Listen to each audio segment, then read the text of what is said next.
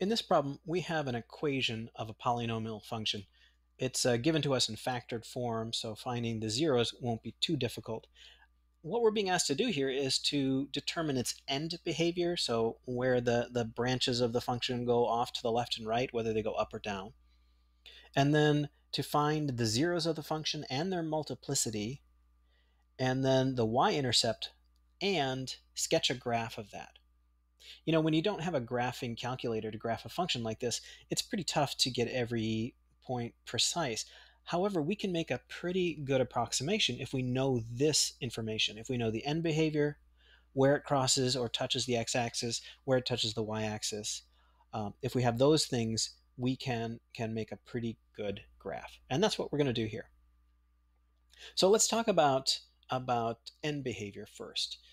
Just to review, the end behavior of a function depends on its highest power and whether that's odd or even. So with functions who have an odd highest power, um, the, the end behavior, one's going to go up and one's going to go down. It's going to be down on the left and up on the right if the leading coefficient, so that highest power of x, if the coefficient of that is positive, you're going to have down on the left, up on the right. The opposite if it's negative, up on the left, down on the right. If you've got an even power of that um, uh, highest power of x. If the, the coefficient is positive, both are going to be pointing up. If it's negative, both are going to be pointing down. So that's end behavior. Let's look at what we have in our function.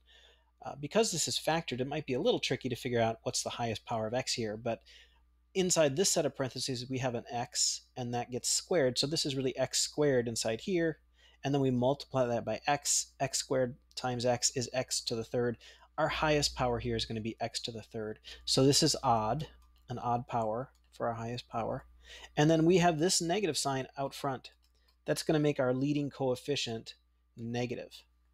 So what that means is we have this situation here. It's going to be up on the left, down on the right.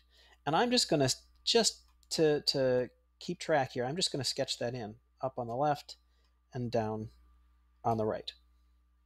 And let's see if we can figure out what happens in between there. So we want to find the zeros of this function. That's not too hard. We've got the factors here. We've got x plus 1 squared, so there's two of those. We'll talk about multiplicity in a second, but really what I want to do is just set that x plus 1 equal to 0. And then we've got x minus 2, and we'll set that equal to 0, and then we'll just solve for x. In this case, we get x equals negative 1 and a positive 2.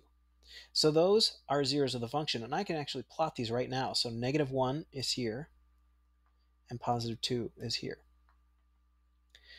Now, when we have a zero of a function, one of two things can happen. The, the, the function can go right through it, or it can just touch it and go back the other way. How do we know? Well, we use these rules right here. Zeros that have an odd multiplicity cross the axis. If they have an even multiplicity, they touch the axis. This one, x minus 2, there's just one of those. So that's it's it's only one time. That's an odd multiplicity. This one, there's two times. So there's multiple. Uh, there's two of them. 2 is even. So that has an even multiplicity.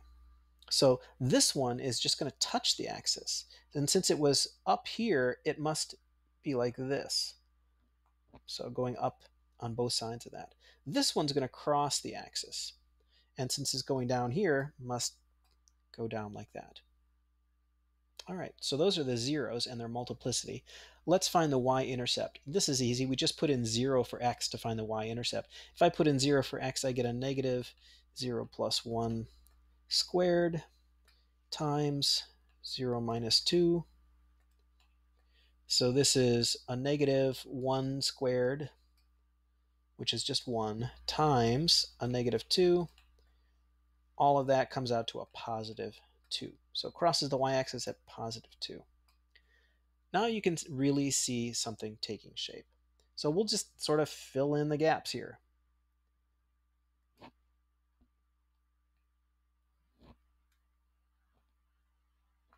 And there we go a little uh, a little goofy looking, but that's basically got the behavior of the function down here.